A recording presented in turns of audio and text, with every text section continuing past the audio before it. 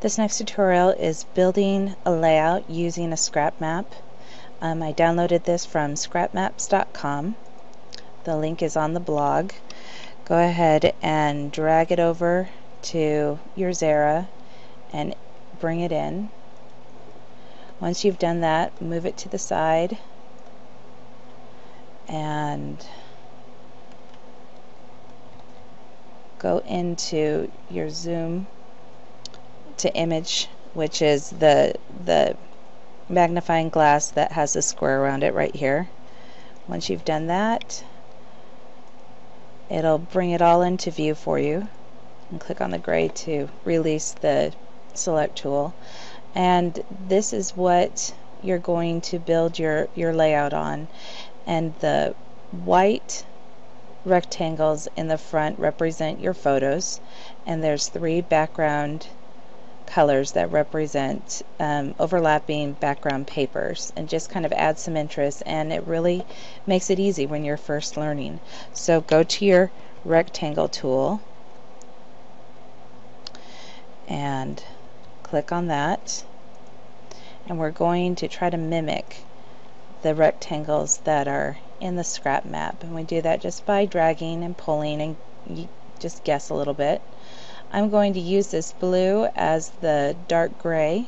So I've got a sidebar there and I'm going to just click on that bring another rectangle in go ahead and overlap it and pull it over. Uh, I'm going to bring it down to about there. And if you want to adjust these rectangles you can always go back to your selector tool that's the little arrow. And then click on your rectangle and you can drag them down. These little squares around it are called handles so you can grab onto any of those and move it around any way you'd like. The corners will keep the dimensions for you and just enlarge and decrease. So move those around to whatever you feel comfortable with. It doesn't have to match us completely. It's just a guide to help us. Um, once you've done that, go ahead and import a couple more papers. Again, I'm using Shabby Princess Wonderful kit from theshabbyshop.com and I'm going to import this green. And go ahead and drop it and delete it just like we did in the first tutorial. And I'm going to bring in one more paper. I think I'll use the stripes. Drag it in. Drop it and delete it. Go ahead and reduce that.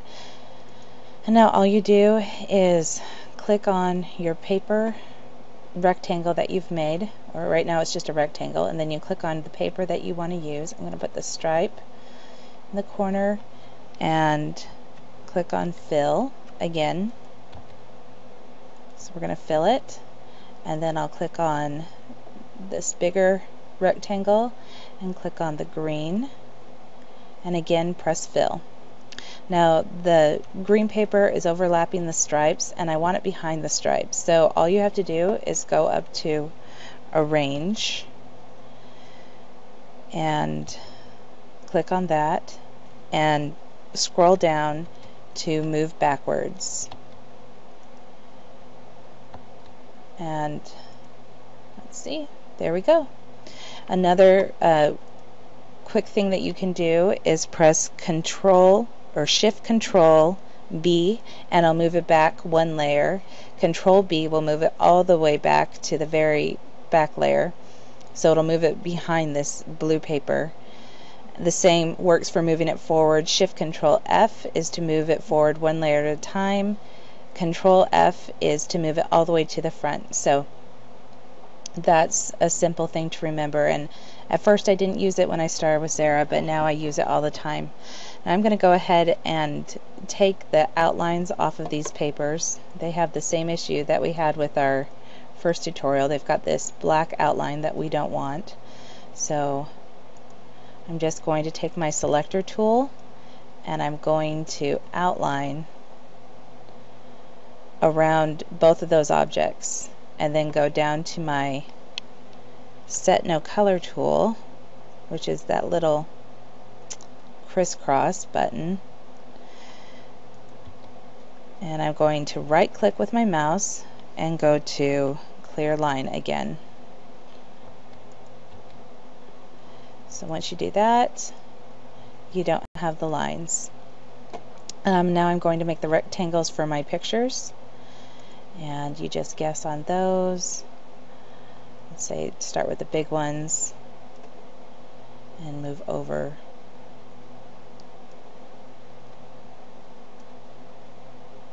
Like I said, it doesn't have to be perfect or it doesn't have to perfectly match the scrap map. This is just kind of a guide.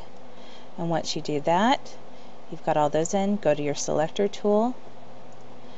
And now you don't have to have an outline around your picture boxes. I like to put a white outline, but you can always go down to the select no color tool and delete the, the outlines on those as well. But I'm going to go down to my white color and I'm going to right click on that and a menu comes up and I'm going to click on set line color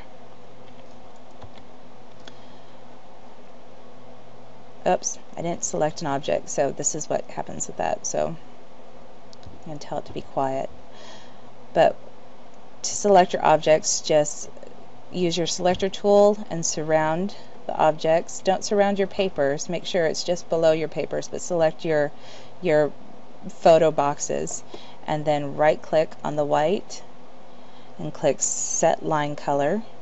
And now you have little white lines but I want those to be bigger white lines. So I'm going to go up to the set line tool which says 0.67 pixels right now. And I'm going to change that to say 8 pixels. And this is really just a matter of choice how big or thick you want your line. It's really just up to you. And there it gives me nice thick white lines which reminds me of old time photographs. And from there I'm going to import some pictures. I've chosen a few active pictures of my little boy, so go ahead and drag those and drop them into Xara and delete them, and they end up in your bitmap gallery just like everything else.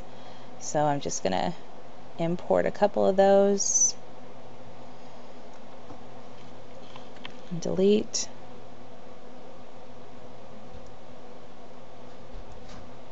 it's good ahead of time to pick out what pictures you want to use. Otherwise, you could spend a really long time sifting through your photos.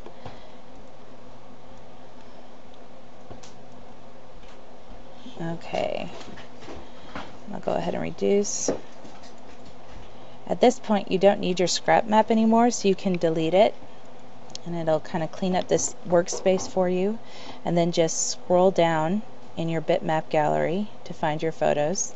Click on the box that you want the pictures to go into. I'm going to just start filling them like we did with our papers, but you fill them with your photos instead. Um, let's see.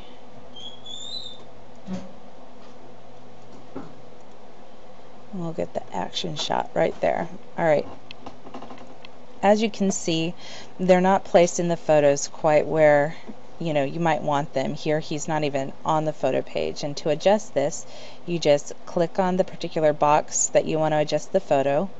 Go over here to the fill tool. It's that little, let me do that again. It's that little paint bucket under the T. Click on that and you're given two lines and with those two lines there's three handles one at each end of the arrows and then one where they meet together. And where they meet together you just click on that with your mouse and move your photo over. The end handles can be used to enlarge your photo or to shrink your photo. You can play around with that. You can also use it to rotate your photo. But I'm just going to try to get it as straight as I can and then move him over so it's centered. And you can do that with all of them, all of your pictures, and get some really interesting effects that way. This one I could even zoom in just so it has that part of him. And the center one, oh, just zoom a little bit. And now you've added all of your photos with Scrap Map to help you along the way for designing. You can adjust any of your papers, zoom into them, you know, do whatever you want to make it yours. And that's the end of step two, setting up your layout.